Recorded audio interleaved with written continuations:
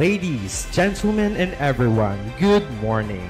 We are honored to welcome you to Sock Sergeant Immunization Stakeholder Summit here at Greenleaf Hotel, General Santos City.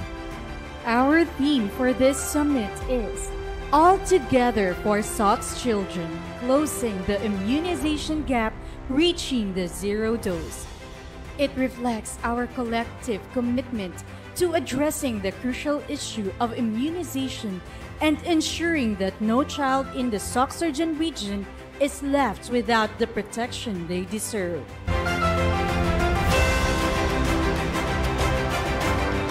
Assalamualaikum.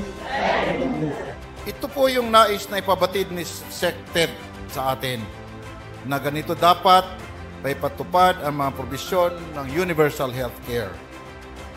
Therefore, both Dr. Jose and Ted, Sec Ted Herbosa's uh, wisdom will point to one, appreciating the potential of our children. Number two, protecting the same interest by investing on things that matters most, which is health.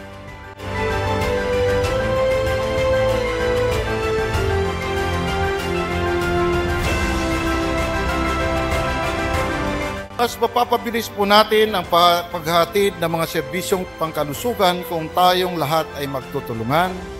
And like what I always say, if we wish to finish stronger, we need to work together.